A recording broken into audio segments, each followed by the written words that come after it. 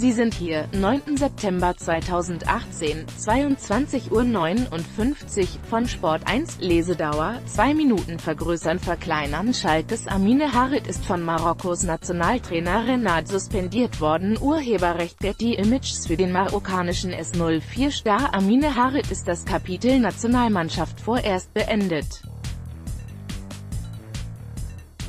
Einen Schalker Teamkollegen ereilt das gleiche Schicksal.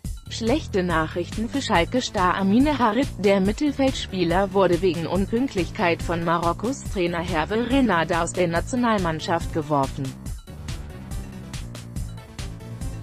Der 21-Jährige war zu spät zum Mannschaftstraining erschien. Neben Harit erwischte es mit Hamza Mendül auch einen weiteren Schalker. Der 20 Jahre alte Mendel wurde wie Harit kurz vor dem 3-0-Sieg der Marokkaner gegen Malawi in der Qualifikation für den Afrika-Cup aus dem Kader gestrichen.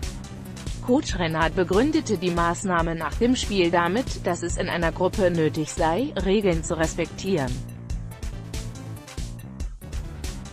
Heidel zeigt Verständnis Auch Schalke-Manager Christian Heidel kommentierte den Vorfall am Sonntag gegenüber der Bild. Harit und Mendel haben wie weitere Spieler die Abfahrtszeit zum Training falsch verstanden und sind zu spät gekommen. Daraufhin fanden sie keine Berücksichtigung für das Spiel, schilderte Heidel.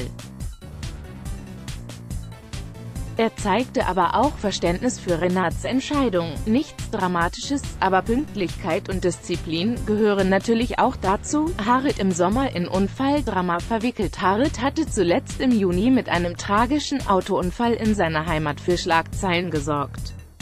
Dabei hatte er mit seinem Fahrzeug einen 30 Jahre alten Fußgänger erfasst und tödlich verletzt.